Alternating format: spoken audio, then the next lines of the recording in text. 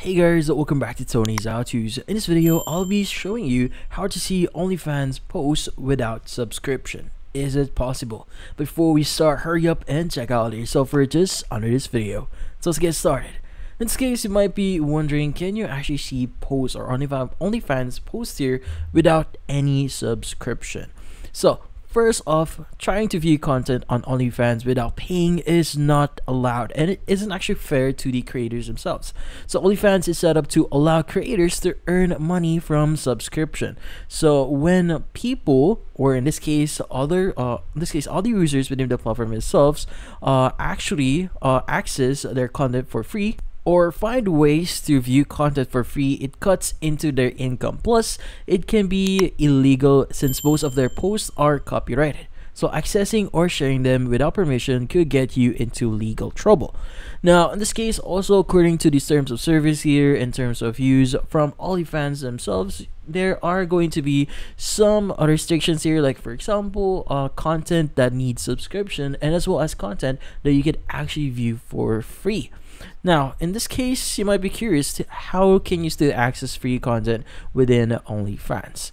So in this case, other users or some users actually offers free trials and free content which in this case typically when you search for uh, in this case accounts on OnlyFans here usually you'll have the free tag at the top left meaning this user actually offers a free subscription that you could get for their account which in this case you could get uh, periodically get free content from them on a specific tier but then again you won't be able to get the whole content so if you want to get the whole content that, they have you need to get a subscription now, in this case, also some users actually has like, uh, in this case, like what I said, free accounts and free trials.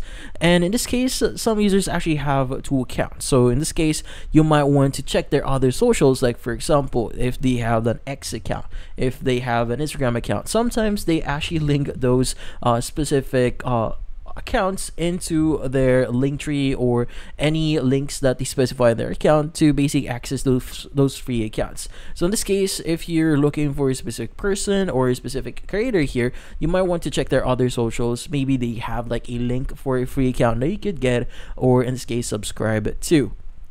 Now, also in their other platforms like X or Instagram, sometimes they give you social media previews, which in this case is a great way for you to get updated on certain things about the uh, move, the movements, or the uh, in this case, uh, some of the daily lives of creators here for OnlyFans, and also some users actually gives out discounted subscription. So in this case, you might want to visit their account or their other socials or their profile here on OnlyFans and see if they're giving out promotions out there, discounted prices to, in this case, uh, get a discount. So from the name itself, a discount, which is a good way for you to save money but still access the content of your favorite content creator here.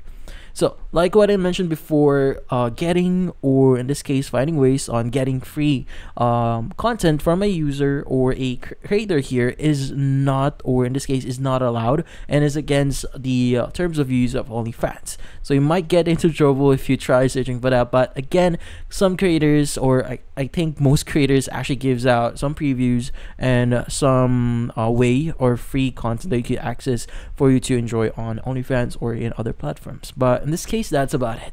So if you found this video helpful, hit the like and subscribe button and watch our next video.